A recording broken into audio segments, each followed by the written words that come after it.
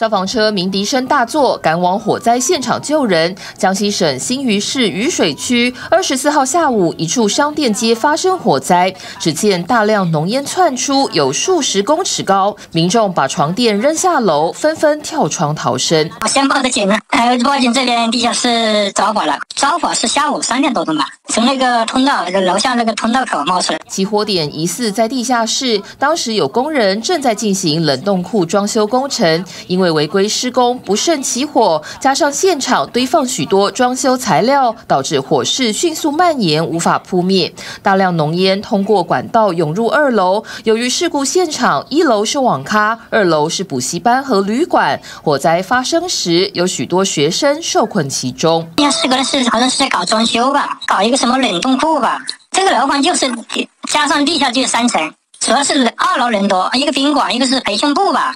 年关将至，三十九个家庭就此破碎，天人永隔。江西省下令辖下补习班全面停课，要确认消防安检过关，全体起立，为遇难人员默哀。